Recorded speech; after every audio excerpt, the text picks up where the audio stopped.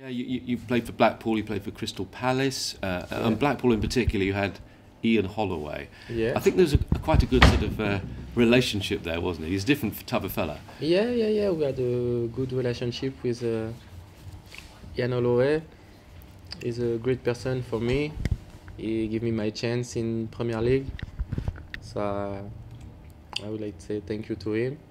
So now it's another uh, page, I would say, of my career in England. So uh, as I told you, I'm glad to be back and I'm looking forward to play with the team. And you're going back to Blackpool this weekend, so uh, you know, yeah, yeah, I'm going back to Blackpool. I'm, I'm happy to go back there because the fans have been um, incredible with me.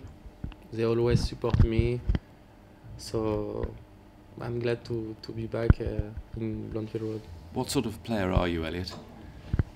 Uh, player, midfield player, passes for my for my teammate. I hope I hope we will uh, have a have a good game and win. Mm. And uh, I came here to stay up.